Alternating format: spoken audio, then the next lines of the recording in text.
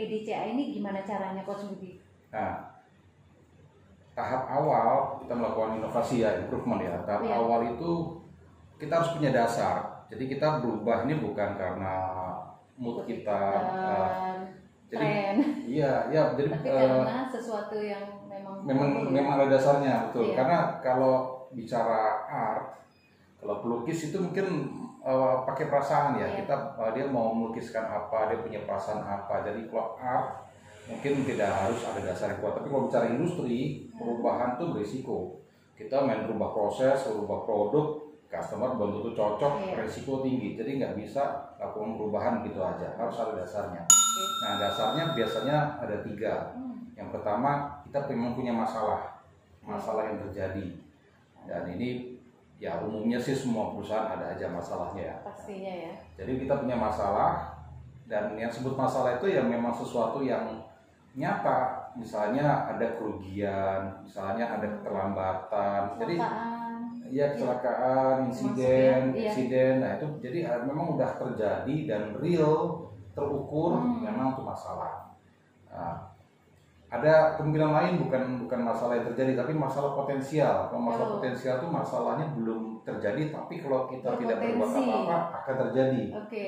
Misalnya, ya tadi misalnya kecelakaan, Hmm. kita melihat uh, di tempat uh, karyawan jalan itu agak berceceran minyak Hmm. belum ada yang jatuh tapi ngeliat minyak ini nih berpotensi ada kepleset ya itu itu masalah uh, potensial Iya. itu juga perlu kita uh, tanggulangi artinya ini kok bisa ada minyak sih di jalanan gitu Iya. mungkin ada mesin apa yang minyaknya bocor lalu mesinnya rusak orang kepleset kan Iya. bahaya gitu jadi uh, itu bisa jadi dasar untuk melakukan improvement inovasi ya ada masalah di masa depan masalah potensial Hmm. Nah, satu lagi yang menarik ini, satu lagi adalah adanya peluang.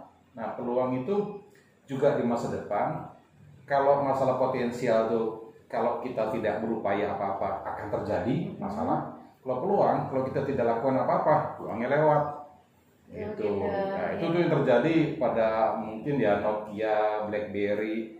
Jadi pada saat era mulai Android, mulai Google bikin Android, bikin sistem Android, Nokia kepedean dia jalan sendiri aja dia dia udah punya apa eh, sistemnya udah juga bisa internet kan dia Kan. nggak nggak tertarik untuk kerjasama dengan Hmm. Android beda dengan Samsung Samsung langsung rangkul Android ya sekarang Samsung berjaya Hmm. cerita juga pakai Samsung kan Dan semuanya Pak. Mas sampai mesin cuci sama TV Pak. Samsung juga Iya, sampai oke AC juga Pak. Nah, oke Bukan iklan ya.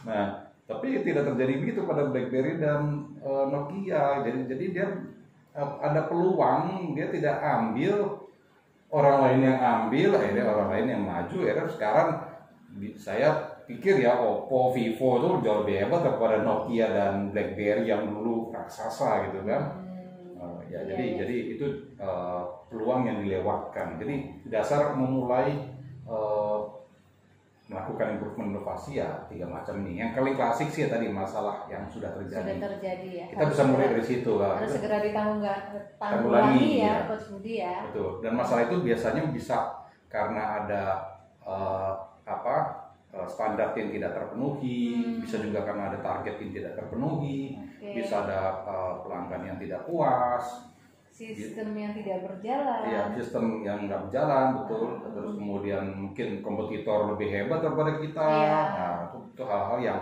yang masalah yang saat ini terjadi Hmm. ya itu kita prioritas kita beresin dulu itu. Oke. Kalau itu udah cukup aman, baru kita mungkin coba lihat-lihat ini ke depan masalahnya gimana gitu. Yang bisa timbul di masa depan masa ya. depan, ya. Oke, siap.